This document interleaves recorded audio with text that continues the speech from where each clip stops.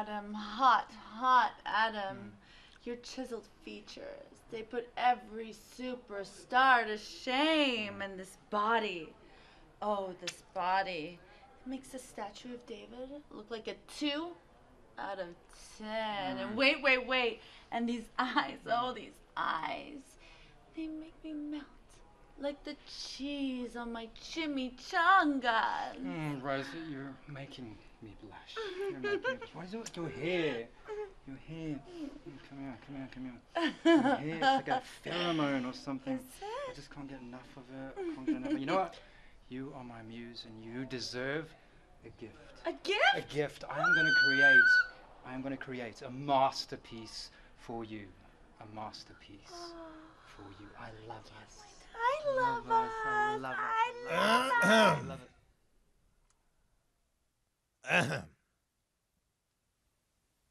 you um you asked me to come here.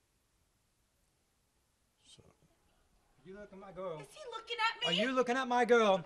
Are you looking at my girl? no, again, Mike? no, Huh? I'm, so- I'm sorry. I'm Are you? I think you are. I didn't. I think you have a steering problem. I'm sorry. I think you're a little bit of a peeping tom.